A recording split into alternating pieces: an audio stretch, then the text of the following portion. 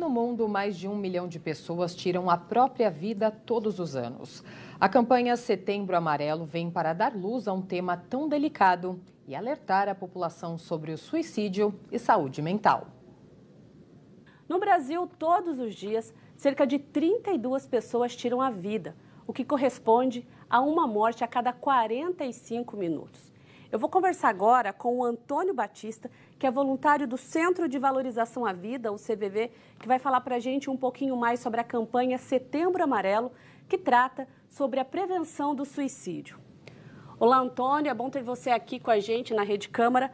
Antônio, qual a importância de falar de temas como suicídio?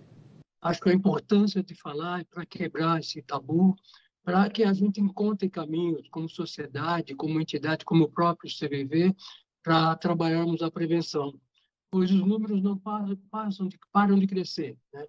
É, ou praticamente 32 pessoas se suicidam por dia no nosso país. Três vezes mais tentam, segundo o Ministério da Saúde.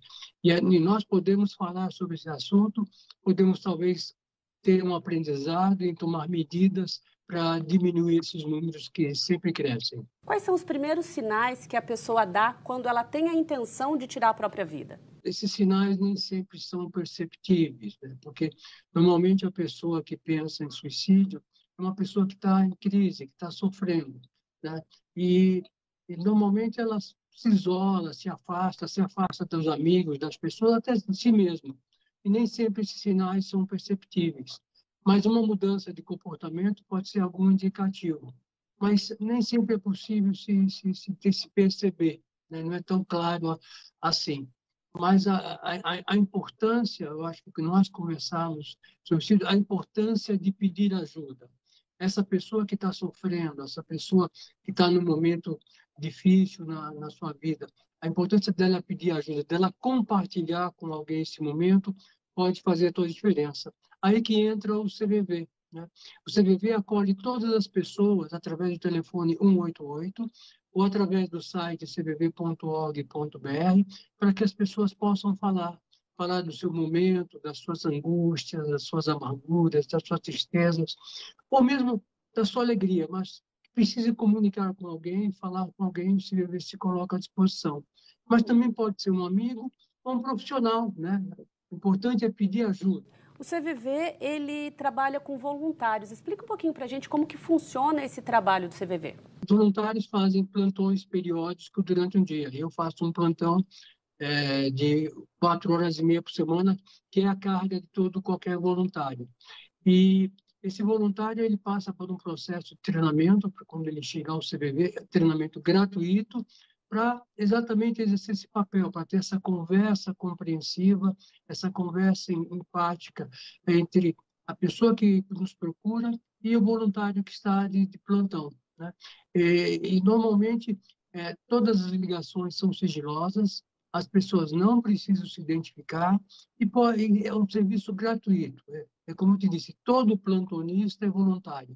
Esse, o serviço é que está colocado à disposição da comunidade e da sociedade. Existe um perfil da, do público atendido pelo CVV? Nós atendemos todas as pessoas, todo tipo de pessoas. O que a gente percebe é que algum tipo de atendimento, por exemplo, no atendimento via chat, a presença maior, é, em grande parte, do, do jovem, do adolescente, da faixa 12, 13, 14. Mas todas as pessoas ligam para o CVV. Não, não sei se saberia te dizer um perfil. É, ligam pessoas, acho que todas as idades. Na verdade, é, quando nós criamos o serviço via chat, um dos objetivos era o jovem, né? porque o jovem está presente nas redes sociais, está presente na internet. E por ser uma das faixas que mais cresce no nosso país de suicídio, que é a faixa de 15 a 34 anos, segundo o Ministério da Saúde. E como esse, esse perfil de pessoa está presente nas redes, na internet, o CBV criou o atendimento via chat. O Antônio, eu queria que você falasse agora para a gente qual a importância da campanha Setembro Amarelo. Eu sei que esse trabalho de vocês é feito o ano todo, mas quando tem essa campanha, aumenta os atendimentos? Isso reflete nos atendimentos ou não? O CVV iniciou esse processo, esse movimento né, no Setembro Amarelo em 2014, né?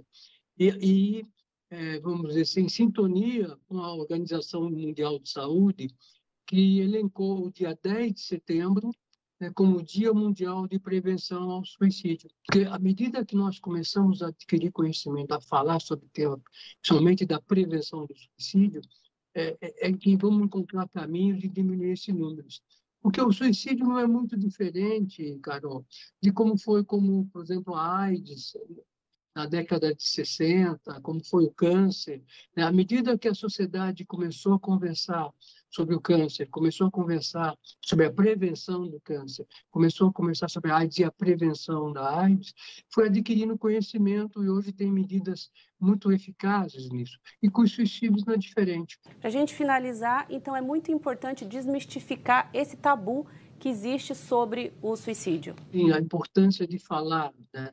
de falar de uma forma construtiva, falar como falar de prevenção, que a prevenção existe, que esses números podem diminuir se a prevenção ela ocorrer. E, e falando pode fazer toda a diferença.